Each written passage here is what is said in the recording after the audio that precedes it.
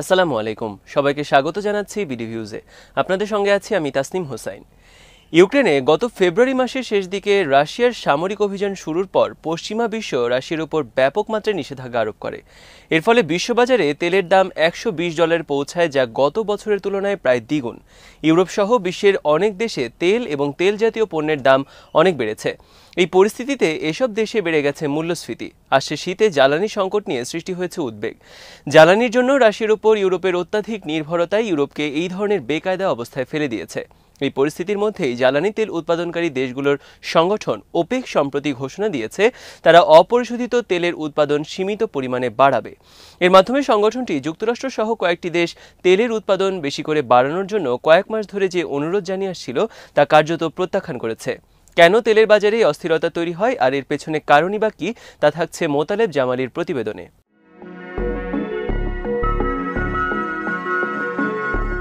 সম্প্রতি এক বিজ্ঞপ্তিতে ওপেক তেলের বাজারের বর্তমান অবস্থায় সন্তোষ প্রকাশ করে বলেছে, করোনা মহামারী এবং ইউক্রেন যুদ্ধসহ ভূরাজনৈতিক নানা ঘটনার প্রভাব বিবেচনা করে তারা তেলের উৎপাদন সীমিত পর্যায়ে বাড়ানোর সিদ্ধান্ত নিয়েছে। ওপেকের এই সিদ্ধান্ত তেলের আন্তর্জাতিক বাজারকে ভবিষ্যতে অস্থিরতার দিকে ঠেলে দেবে।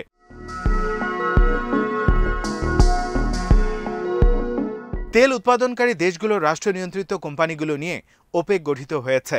অন্যদিকে, বেসরকারি বা ব্যক্তি মালিকানাধীন কোম্পানিগুলো জ্বালানি তেলের বাজারে গুরুত্বপূর্ণ ভূমিকা পালন করে থাকে। সরকারি বেসরকারি কোম্পানি ও আর্থিক বাজারের ভূমিকা সহ বেশ কিছু কারণ অতীতে অপরিশোধিত তেলের মূল্য নির্ধারণ ও বাজার নিয়ন্ত্রণে গুরুত্বপূর্ণ ভূমিকা রেখেছে।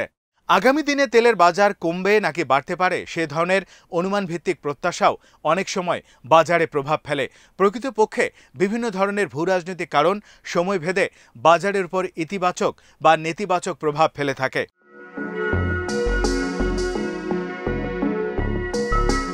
গত ফেব্রুয়ারির মাসের শেষ দিকে রাশিয়া, ইউক্রেনে সামরিক আগ্রাসন চালানোর পর থেকে অপরিশোধিত জ্বালানি তেলের বাজারে অস্থিরতা বিরাজ করছে। বাইশে ফেব্রুয়ারি থেকে আটই মার্চের মধ্যে প্রতি ব্যারেল অপরিশোধিত তেল সর্বোচ্চ একশো তেত্রিশ দশমিক আট নয় মার্কিন ডলারে বিক্রি হয়েছে। দু হাজার চৌদ্দ সালের পর এই দর ছিল সর্বোচ্চ এবং প্রতি ব্যারেলে দাম বেড়েছে সাঁত্রিশ দশমিক দুই শূন্য ডলার। দুই সপ্তাহ এই দর স্থায়ী ছিল, যা উনিশশো নব্বই সালের পর এটি ছিল একটি রেকর্ড।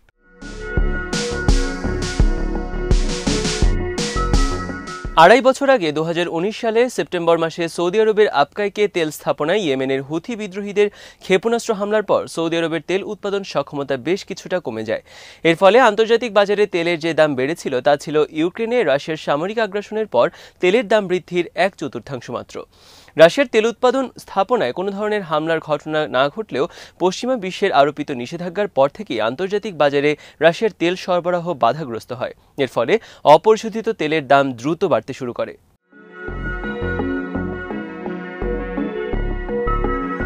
কোনো পণ্যের মূল্য নির্ধারিত হয় বা ওঠানামা করে, সাধারণত চাহিদা ও সরবরাহের মৌলিক নীতিমালার উপর ভিত্তি করে।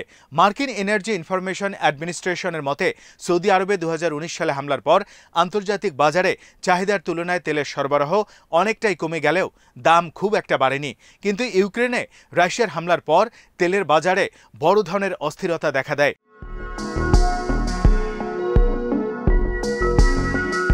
রাশিয়ার তেল গ্যাসের সরবরাহ বন্ধের বা বাধাগ্রস্ত হওয়ার আশঙ্কার কারণেই দাম অস্বাভাবিকভাবে বাড়তে থাকে বলে জানিয়েছে ইন্টারন্যাশনাল এনার্জি এজেন্সি। এমনকি চব্বিশে ফেব্রুয়ারি ইউক্রেনে রাশিয়ার হামলা করার আগেই ফেব্রুয়ারির শুরু থেকে তেলের বাজারে দাম বাড়তে থাকে।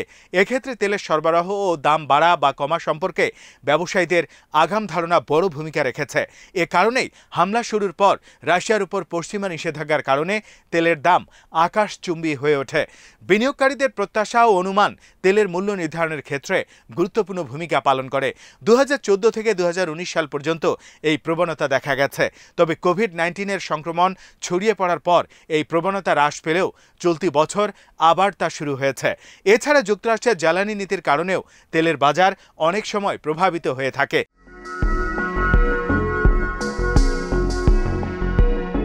আন্তর্জাতিক বাজারে বাজার বিশ্লেষকরা বলছেন দু হাজার বিশ সালে বিশ্বে করোনা সংক্রমণ বেড়ে গেলে অপরিশোধিত জ্বালানি তেলের দাম ত্রিশ ডলারের ঘরে নেমে আসে। কিন্তু সংক্রমণ নিয়ন্ত্রণে আসায় সারা বিশ্বেই তেলের ব্যাপক চাহিদা দেখা দেয়। এর ফলে হু হু করে বাড়তে থাকে দাম।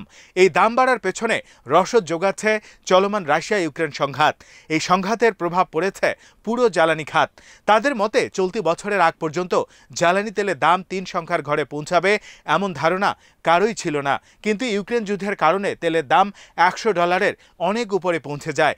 তবে এখন তা কমে একশো ডলারের নিচে এসে নেমেছে।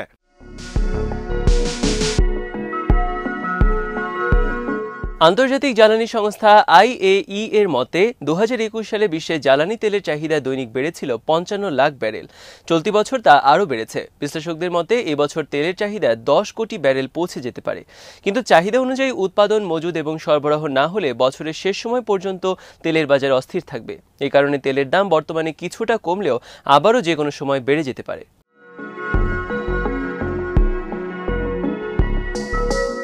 অপরিশোধিত বা ক্রুড তেলের দাম দু হাজার উনিশ সালের এপ্রিল মে মাসের দিকে ছিল প্রতি ব্যারেল একাত্তর মার্কিন ডলার।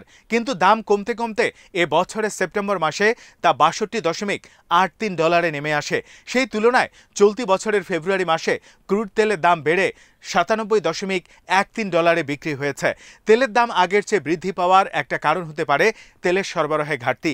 চলতি বছর প্রতিদিন তিন দশমিক নয় মিলিয়ন ব্যারেল তেল কম সরবরাহ করা হয়েছে বলে ইআইএর তথ্যে জানা যায়।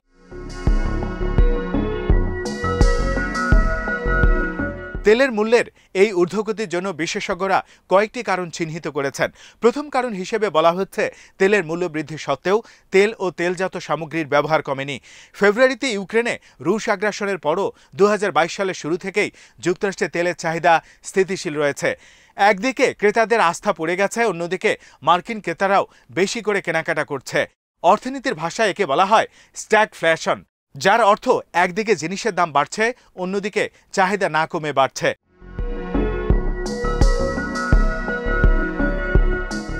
জুলাই আগস্ট মাসে পরিবহন জ্বালানির চাহিদা বাড়ার কারণ হলো গ্রীষ্মে গরম বাড়ার সময় আমেরিকানরা দেশের ভেতরে ছুটি কাটাতে বিভিন্ন স্থানে যাতায়াত করেন। তাই এ সময় জ্বালানির ব্যবহার বেড়ে যায়।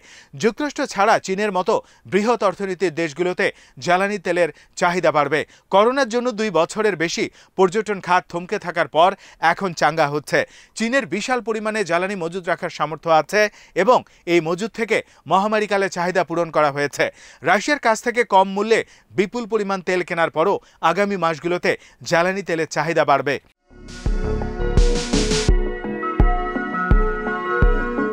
অপরিশোধিত তেল উত্তোলনের পর তা শোধন করে ব্যবহার উপযোগী করা কিছুটা সময় সাপেক্ষ। জ্বালানি তেল ছাড়াও অপরিশোধিত তেলের বহু উপজাত রয়েছে। অনেক পণ্য সামগ্রী এ থেকে তৈরি হয়, যার জন্য দরকার হয় বিভিন্ন রকম রাসায়নিক দ্রব্য এবং প্রক্রিয়া। শোধনাগারগুলোতে চাইলেই দ্রুত তা করতে পারে না। তাছাড়া এক একটি শোধনাগার একটি নির্দিষ্ট প্রক্রিয়ার মধ্যে দিয়ে একটি তেলজাত পণ্য শোধন করে। রাতারাতি প্রক্রিয়া বা পদ্ধতিতে পরিবর্তন আনা যায় না।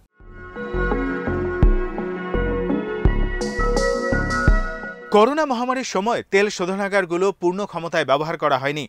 বহু শোধনাগারে কাজ হয়নি। শোধনাগার অব্যবহৃত পড়ে থাকলে কর্মক্ষমতা কমে যায়। মহামারীর আগে দু হাজার উনিশ সাল থেকেই তেলের চাহিদা কমে যাওয়ায়, বৈশ্বিক তেল শোধনের পরিমাণ কমে যাওয়ায় এখন শোধনাগারগুলো পূর্ণ ক্ষমতায় ফিরিয়ে আনা সময় সাপেক্ষ ব্যাপার।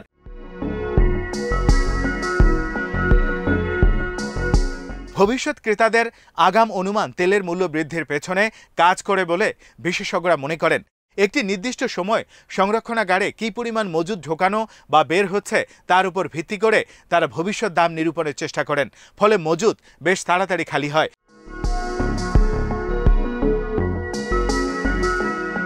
স্বাভাবিক সময় যখন বাজারে চাহিদা ঊর্ধ্বমুখী থাকে না, তখন ভবিষ্যৎ ক্রেতাদের প্রভাবে উত্তোলন বাড়িয়ে সরবরাহ লাইনে পাঠানো হয়। তেল শিল্পের বর্তমান অচলাবস্থা ও অস্থিরতা কাটাতে প্রয়োজন বিনিয়োগকারীদের আস্থা ফিরিয়ে আনা। কারণ করোনা মহামারীর সময় এই খাতে বিনিয়োগ অনেক কমে গেছে।